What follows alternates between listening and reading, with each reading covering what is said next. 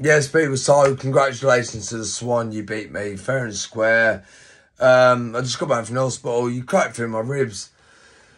I was dominating the fight. I actually started boxing for once, and um, when you caught me, I could hear like Mike Egan uh, in the background. I could put it on, mate. You went for it, like fair play to you. Look, as much as I don't like you, I will still respect you. Well done. You got you like. Do you know what I mean? You got the win, bruv. Like, I'm not going to be a sore loser and take anything away from it. What we do is bare knuckle.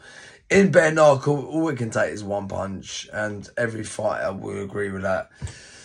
So, um, listen, shout out to everyone who supported me. Shout out to everyone who done the tickets.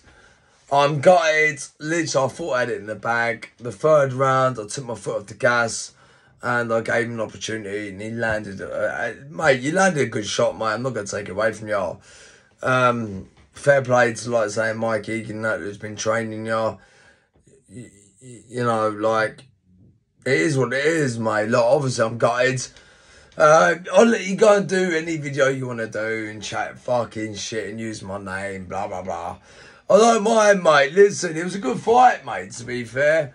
It was good. I enjoyed it. It was actually like, you know what I mean? We both got in it, fucked up your face. But fucking up faces, don't you, when you fight? Knocking someone out does. So put you down. Mate, I should have, I should have listened. Should have, would have, could have. Swan, congratulations. And um, do you know what, people? I was in the back here after the fight with Doherty. Obviously, everyone knows who I stand behind. And me and Simon Doggett was chatting. And even he said, listen, you both fight for causes. Listen, you are a bit of a dick the way you carry yourself on sometimes, my opinion. But you know what? You're doing it for ADHD awareness. And if someone watches that fight and someone watches you raising that title, and it's going to change their life and they're going to be inspired. I don't, I, I don't suffer ADHD, do you know what I mean? So I, I don't get it, but I can imagine people with ADHD do watch you, brother, because you're a fucking, you're a character, aren't you?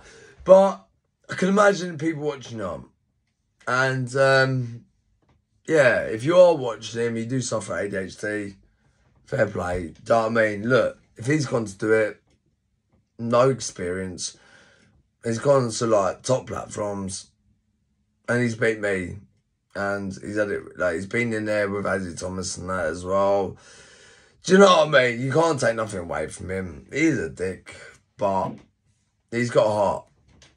And that's why I rate. You know what I mean? Listen, in a day, like, doing what we do is not easy. Just, like, you don't just get the balls to do it. You know what I mean? Like, when you're sitting there a week before, days before, like the day before, and you're waiting, like, it separates men from sheep. You know what I mean? And, um, fair play. Well done. Congratulations. So, it looks like it's going to be a fucking trilogy, doesn't it?